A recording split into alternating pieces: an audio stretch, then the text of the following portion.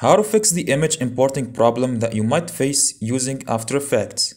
Like when you want to import an image but it either doesn't show on the project panel or it just completely imports another image. For example, I wanted to import this image but it just imported the thumbnail I made for an older video. Nothing makes sense. This is basically easy and simple to fix. So when importing a file, you notice there's like a number at the end of the image you want to import.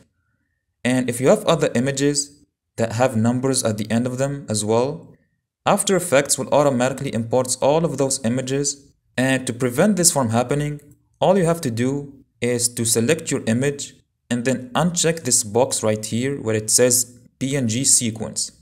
And then you can import your uh, specified image. And there you go. That's how you fix this problem. Let me know in the comments if this helped you. Please leave a like on the video, subscribe to the channel, and feel free to watch this next tutorial for more tips and tricks.